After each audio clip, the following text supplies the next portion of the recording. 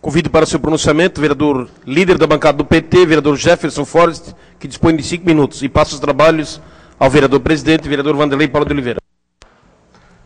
Senhor presidente, senhores vereadores, população que nos acompanha no plenário ou que nos acompanha pelos veículos de comunicação da Câmara Municipal.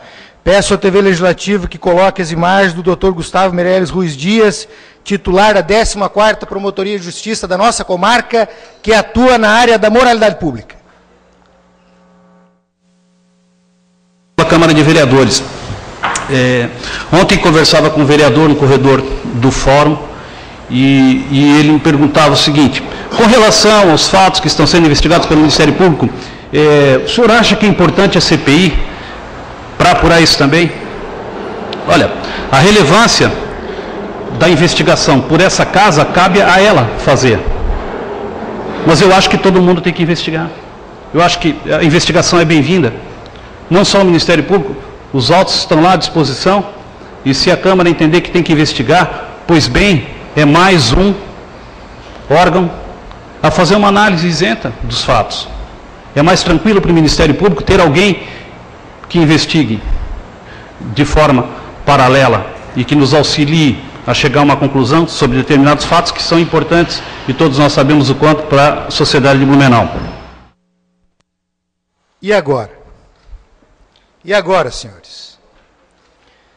Falei a frase do poeta quando apresentei o primeiro requerimento da CPI, que foi com três assinaturas, né? com apoio do presidente, mas com as três assinaturas. É, e agora? Falei que o poeta citava que o mar dividia os homens dos meninos. Senhores, reformulamos o requerimento da Comissão Parlamentar de Inquérito, que há 13 anos, Adilson Costa, essa casa não tem a coragem de implementar. Há 13 anos.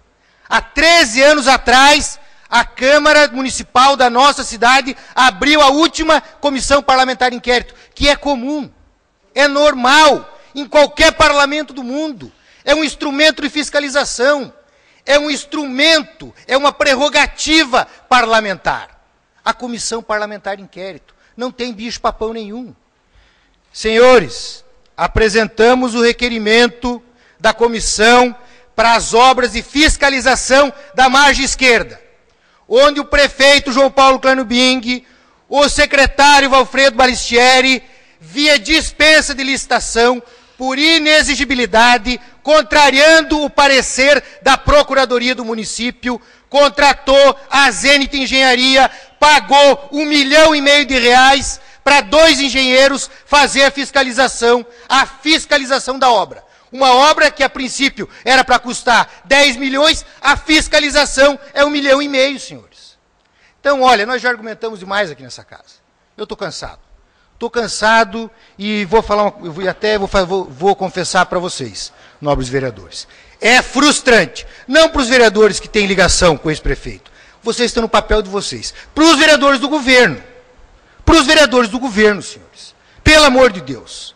Por que, que não querem investigar? Não vão para a imprensa amanhã dizer que a investigação vai atrapalhar o Ministério Público. Por favor, não façam isso. Não se prestem esse papel não vão para a imprensa amanhã dizer que a investigação vai impedir que os recursos venham, que o João Paulo vai ficar brabinho e não vai mandar recursos para a cidade. Os convênios estão assinados, senhores. Então por quê? Por que não querem assinar?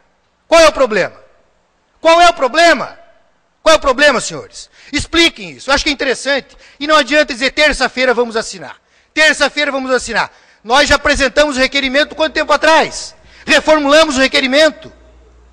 Então, olha aqui, é melhor dizer, nós não queremos assinar, ou porque temos medo, medo, né, ou porque talvez o rabinho de alguém esteja preso.